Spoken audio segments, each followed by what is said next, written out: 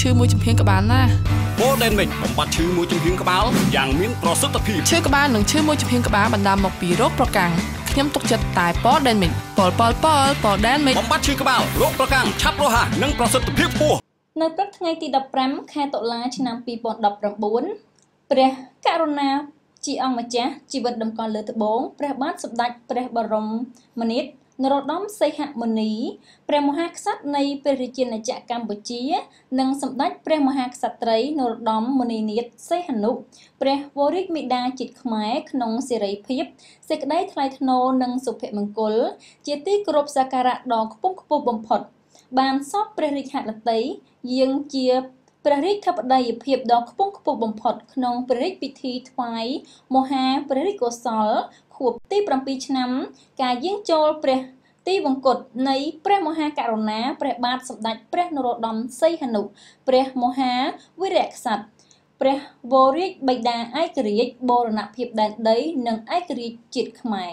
ព្រះបរមរតនកោដ្ឋជាទីគោរពសក្ការៈដ៏ខ្ពង់ខ្ពស់បំផុតនាបរិវេណព្រះវិហារព្រះកែវមរកតព្រះបរមរាជវាំងដោយមានការយាងដង្ហែអមដោយព្រះ រាជវង្សានុវង្សនិងថ្នាក់ដឹកនាំជាន់ខ្ពស់នៃរាជរដ្ឋាភិបាលនាម៉ឺនសពមុខមន្ត្រីសូមរំលឹកថាព្រះករុណាព្រះបាទសម្ដេចនរោត្តមសីហមនុសីហនុព្រះមហាវីរក្សត្រព្រះវររាជបិតាឯករាជ្យបរណភាពទឹកដីនិងឯករាជ្យជាតិខ្មែរបានយាងចូលព្រះទីវង្គត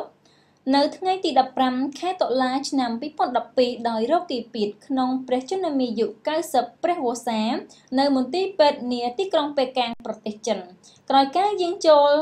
ទីវង្គតរបស់សម្ដេចឪសម្ដេចតាសម្ដេចតាទួតព្រះបិតាឯករាជ្យជាតិរាជរដ្ឋាភិបាលបានកំណត់យកថ្ងៃទី15តុលារៀងរាល់ឆ្នាំ ជាថ្ងៃគោរពព្រះវិញ្ញាណក្ខន្ធអតីតព្រះមហាវីរក្សត្រថ្នាក់ដឹកនាំស្ថាប័នកម្ពុជាកម្ពុជារបស់ជាតិ ថ្នាក់ដឹកនាំក្រសួងមន្ទីរខេត្តក្រុងមន្ត្រីរាជការប្រជាពលរដ្ឋគ្រប់ស្រទាប់វណ្ណចាស់គ្រប់ស្រទាប់វណ្ណៈបានអញ្ជើញនាំគ្នាយកកម្រងផ្កាថ្វាយគោរពសក្ការៈចំពោះព្រះបរមរូបថ្ងៃនេះកាលពី7ឆ្នាំមុនគឺជាពេលវេលាដ៏សោកសៅជាទីបំផុតសម្រាប់ប្រជារាស្ត្រខ្មែរព្រោះជាការបាត់បង់សម្ដេចឪសម្ដេចតា សម្ដេចតាទួតព្រះបិតាឯករាជ្យជាតិខ្មែរជាទីគោរពស្រឡាញ់និងជាទីសក្ការៈដ៏ខ្ពង់ខ្ពស់បំផុតយើងនៅចងចាំបានថាសម្ដេចតេជោហ៊ុនសែនក្នុងនាមប្រមុខរាជរដ្ឋាភិបាលកម្ពុជា ដែលបានអញ្ជើញទៅយាងដង្ហែព្រះបរមសពព្រះបរមរតនកោដ្ឋដល់រដ្ឋធានីប៉េកាំងនៃប្រទេសចិនទៅពេលនោះគឺបានសច្ចានៅចំពោះព្រះភ័ក្ត្រព្រះបរមសពថា និងស្មោះស្ម័គ្រចំពោះព្រះរាជបល្ល័ង្កការពារព្រះរាជបល្ល័ង្កការពារព្រះមហាក្សត្រនិងការពារសម្ដេចម៉ែផងដែរសម្ដេចតេជោនាយករដ្ឋមន្ត្រីបានសច្ចានៅពេលនោះយ៉ាងដូចនេះថាអំណេះទៅទូលបង្គំ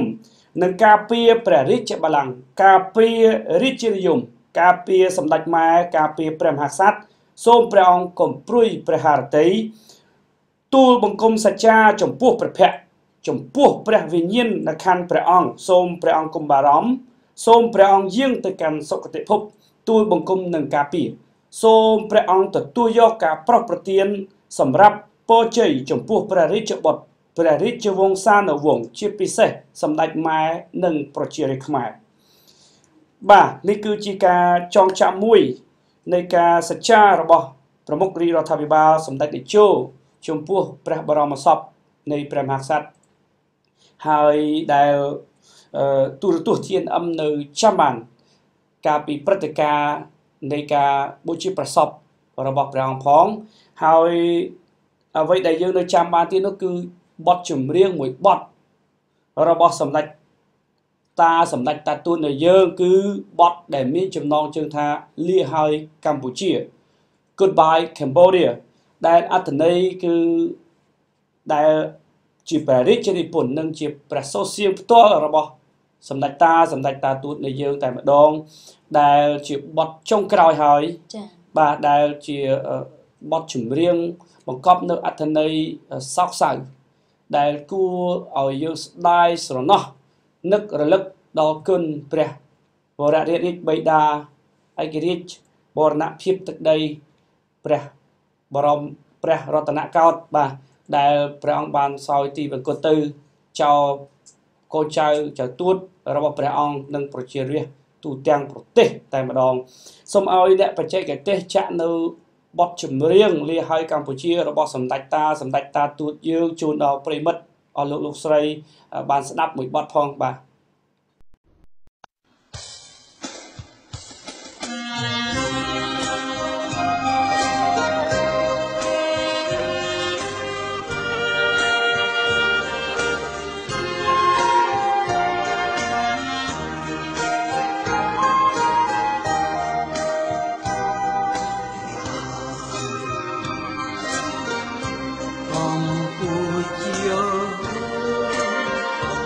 son día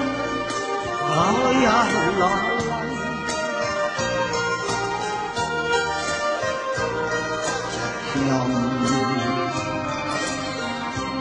Riang merik rotan Sok jam bisa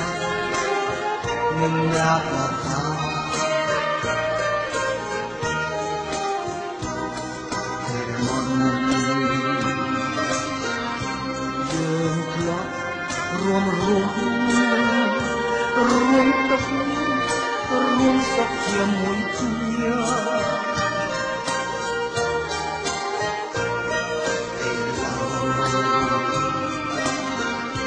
ទោះបី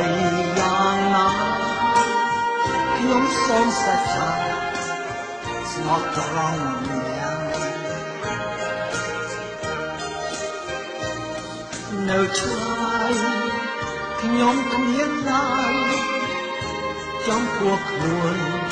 អ្នកសោះឡើយស្នេហាខ្ញុំគ្មានស្បើយព្រមអ្នកជាញាតិទុកខ្ញុំខ្ញុំ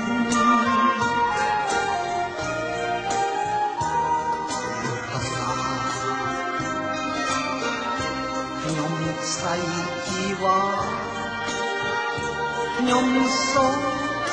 បំរើតាធានណាបំរើដោយសែនស្មោះស្ម័គ្ររួមរកណាលោកអវសាន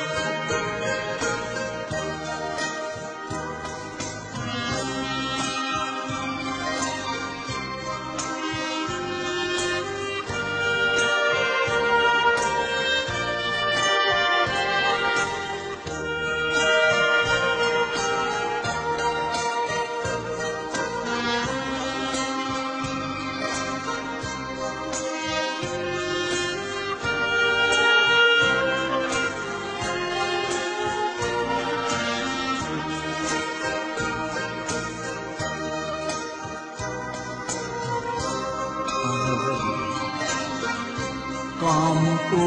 किया सुन लिया दया लाल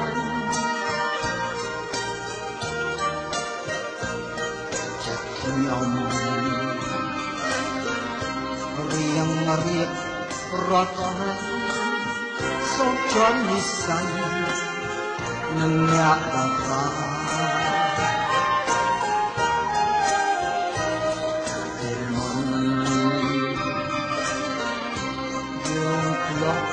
រួមរួមរួមទុករួមសុខជាមួយគ្នា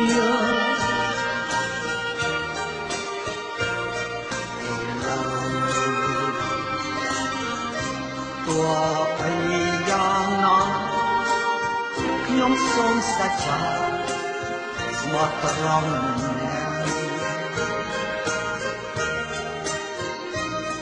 នៅឆ្ងាយ ខ្ញុំគ្មានណៃចំពោះខ្លួនអ្នកសោះឡើយស្នេហាខ្ញុំគ្មានស្វាយព្រមអ្នកជាវាតពូងខ្ញុំ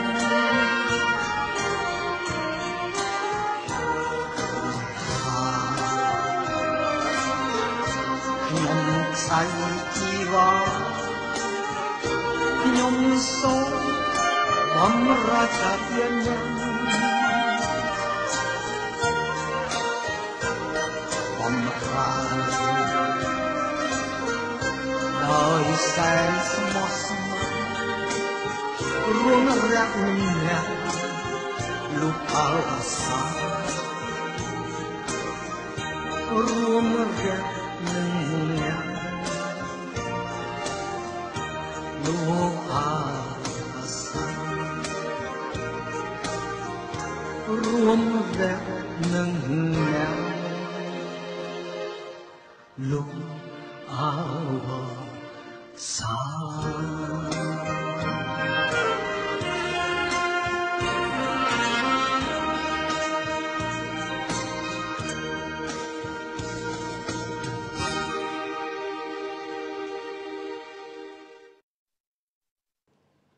ថ្នាក់ដឹកនាំនៃទូរទស្សន៍ TNM TV online ព្រមទាំងសហការីទាំងអស់ទូទាំង25រាជធានីខេត្តក្រុង សូមថ្វាយព្រះមហាបរិយាជកុសលខួបទី7ឆ្នាំនៃការយាងចូលព្រះទិវាគតនៃព្រះករុណាព្រះបាទសម្ដេចព្រះនរោត្តមសីហនុព្រះមហាវរក្សត្រព្រះវររាជបិតាឯករាជ្យបរណភាពទឹកដីនិងឯកភាពជាតិខ្មែរព្រះបរមរតនកោដ្ឋជាទីសក្ការៈដ៏ខ្ពង់ខ្ពស់បំផុត សូមព្រះអង្គយាងទៅកាន់សុគតិភព